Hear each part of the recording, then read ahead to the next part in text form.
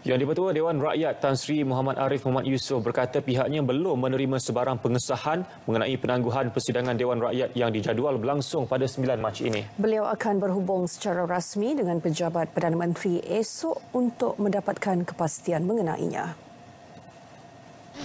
Kita nak nak, tanya, nak pastikan sama ada seminar harian akan uh, ada Bagaimana apa uh, Sri apa dipastikan tu macam mana cara prosedurnya? Masih tulis harian ini pada So setakat ini pada pemikiran Tan Sri dengan sembilan hari bulan ni? saya, saya berkata untuk saya tidak memutuskan.